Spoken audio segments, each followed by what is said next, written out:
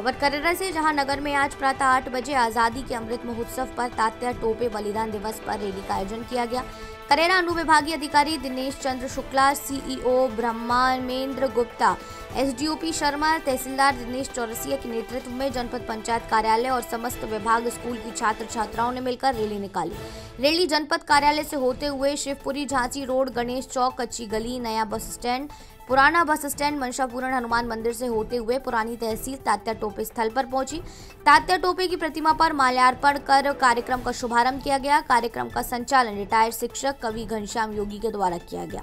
सभी ने अपने बलिदान दिवस पर उद्बोधन दिए। मंत्री, पूर्व विधायक जशवंत जाटव, कवि पी डी शर्मा, सतीश श्रीवास्तव, प्रमोद भारती ने अपने अपने उद्बोधन दिए। वहीं जीडी शर्मा ने कहा कि हमारा सौभाग्य है कि तात्या टोपे शिवपुरी ज़िले से हैं और उन्हें शिवपुरी की जेल में रखा गया था। बलिदान दिवस पर कहा कि बच्चों, जिस धरती पर हमने जन्म लिया है, ये स्वर्ग से भी महान है। कार्यक्रम में सभी विभागों के विभाग प्रमुख, थाना प्रभारी सतीश सिंह चौहान, सभी स्कूलों के छात्र छात्र छात्राएँ आंगनवाड़ी कार्यकर्ताएँ, पुलिस स्टाफ, व्यापारी, गणमान्य नागरिक पत्रकार गण उपस्थित रहे। करेरा से संजय गुप्ता, बलैया की रिपोर्ट।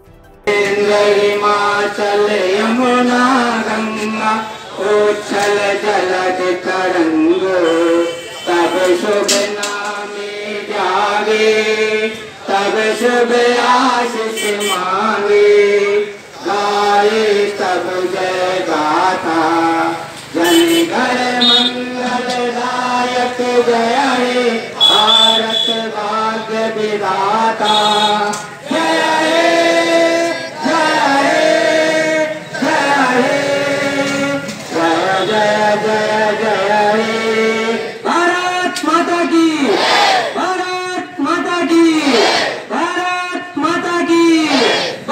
मन में भारत माता रहती हो, मातृभूमि पर मर मिटने को जो खुद को तैयार करेगा, मेरा कभी उसका स्वागत सत्कार करेगा। मात्र 45 वर्ष की जीवन रहा अमर सपूत तात्या टोपे जी का। निश्चित तौर पर ज़िंदगी लंबी ना होकर ज़िंदगी बड़ी हो, ऐसा प्रयास करना चाहिए मैं क्योंकि मुझे कविता के माध्यम से अपनी बात रखने की आदेश हुआ है तो मित्र बनाया।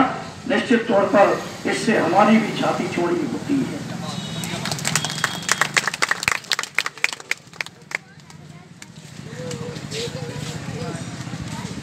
कुछ दोनों समर्पित करता हूँ। तात्या टोपे जी को। तात्या टोपे हैं अमर। अम, भारत भूलेगा नहीं अमर वीर का नाम। तेज धार तलवार की और अटल विश्वास हंसकर जान लुटा गया भारत माँ का। दास झंडा ना झुकने दिया, नहीं झुकाया माँ और झांसी रानी का दिया सदा आपने साथ। भारत के सम्मान हित दिया स्वयं बलिदान, आज़ादी की कामना रहे राष्ट्र का मान। तुम्हें नमन है देश का। भारत माँ के लाल, सफल न होने दी कभी अंग्रेज़ों की चाल। तात्या टोपे जी के सामने अंग्रेज़ों की एक नहीं चलती थी। वो अपने छापा मारो गुरल्ला युद्ध कला से अंग्रेज़ों को छकाया करते थे और निश्चित तौर पर उनका जीवन काल बहुत अल्प आयु का रहा। लेकिन आज हम उनको याद कर रहे हैं। निश्चित तौर पर उन्होंने भारत माँ के प्रति जो अपना बलिदान दिया है, देश उन्हें हमेशा याद रखेगा। मैं चार पंक्तियाँ और कहकर इसी वर्ष हमारी कानों में गूंजा है। इससे पहले हमने ये शब्द हमारे इतिहास में नहीं था, इतिहास के पन्नों में नहीं था। जो आज के वर्तमान के महानायक है वो पूरे विश्व की विषम परिस्थितियों से हिंदुस्तान को भारत के रूप में खड़ा करने के लिए जो निरंतर 24 घंटे अपनी लड़ाई लड़ रहे हैं, ऐसे माननीय मोदी जी को तो उन्होंने हमें अमृत महोत्सव का नाम दिया। साथियों, आज़ादी के पचहत्तरवा वर्ष है 2022 और 2022 जो आज़ादी का पचहत्तर वर्ष है, उसको आज़ादी का अमृत महोत्सव का नाम देकर हिंदुस्तान के तमाम स्वतंत्रता संग्राम सेनानियों को सम्मान देने का काम किया है, ऐसे मैं माननीय मोदी जी को धन्यवाद देता हूँ, और मैं अमर शहीद तात्या टोपे जी के श्री चरणों में नमन करता हूँ। यहाँ पर मंच पर विराजमान सम्मानी दिनांक वाइज समय वाइज आप सबको बताया है, कई वक्ताओं ने बताया है। मैं तो सिर्फ़ जो उनकी भावना थी, जो देश की भावना है, वो मैं खासतौर से इन बच्चों को अवगत कराना चाहता हूँ।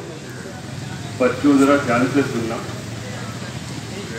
ऋग्वेद का एक मंत्र है, जननी जन्म भूमि से स्वर्गा कपी करिए। ये हमारे वेद में लिखा हुआ है और इसे हम भूल गए थे।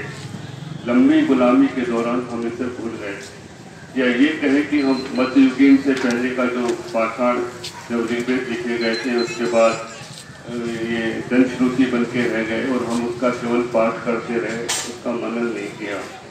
कि किस वेदों में लिखा क्या है? ये जो मंत्र है, जननी जन्म भूमि स्वर्गति करिए थी। ये वेदों के बाद सबसे पहले आया महाराणा प्रताप ने इसको समझा। इसका अर्थ है, जननी जन्म भूमि यानी जिस धरती पर हमने जन्म लिया है, वो धरती स्वर्ग से भी महान है। ये हमारे वेदों में लिखा है। इसका फिर में वो लिखने के बाद सबसे पहला जो प्रयोग किया था, वो महाराणा प्रताप ने किया था। जननी जन्म भूमि से स्वर्गागति करिए थी, उन्होंने ये सोच करके देश से संघर्ष किया था कि हमें गुलामी मंजूर नहीं है। हमें तो स्वतंत्रता चाहिए, स्वतंत्रता हमारी जो है, स्वर्ग से भी बढ़ के है। ये उन्होंने सबसे पहले शुरुआत की। उसके बाद फिर हम लोग सब भूल गए क्या आज़ादी है, क्या स्वतंत्रता है फिर सबसे पहले यही बात से दोहराया महर्षि स्वामी दयानंद सरस्वती जी ने। दयानंद सरस्वती जी ने लोगों को आगाह किया कि तुम जो गुलाम हो? हमारी जो सभ्यता, संस्कृति है, वो तो आज़ादी की है। हम लोग गुलामी में खुश थे। मैं आपको बताता हूँ, आप इतिहास पढ़ें है हम बड़ी बड़ी बातें करें, कुछ भी करें। हम लोग गुलामी में बड़े खुश थे, अंग्रेज़ी सीख रहे थे।